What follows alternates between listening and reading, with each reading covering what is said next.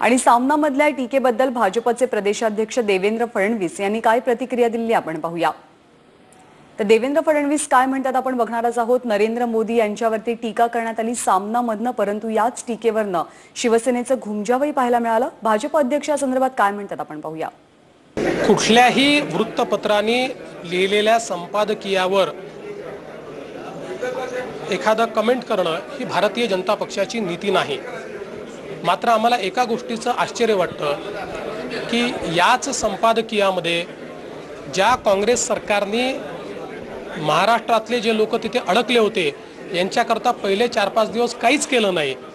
आणि जे काही केलं ते अत्यल्प होतं त्या महाराष्ट्र सरकारची तारीफ करण्यात आली आहे. एक गोष्ट अजून मला सांगायची आहे की श्री नरेंद्रभाई मोदी यांनी कधीही आपण केलेल्या कामाचं क्रेडिट घेतलं नाही. आम्ही देखील ते क्रेडिट घेतलं नाही. पण एखादा मुख्यमंत्री आपल्या राज्यातल्या लोकांना वाचवण्याकरता किती तत्पर असू शकतो याबद्दल मात्र त्यांचं आम्ही अभिनंदन करतो.